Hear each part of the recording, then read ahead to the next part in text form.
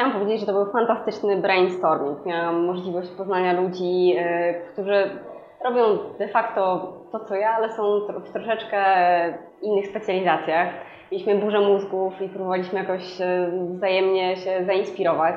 Otwierały nam się wszystkim e, różne, różne inne ścieżki myślenia w bardzo miłym otoczeniu, takim nieoficjalnym. I tak naprawdę myślę, że to będzie bardzo, bardzo inspirujące i już się nie mogę doczekać kolejnego szkolenia. Także dzięki wielkie, jestem, mam sobie bardzo dużo energii i przyjemnością wrócę teraz do mojej pracy.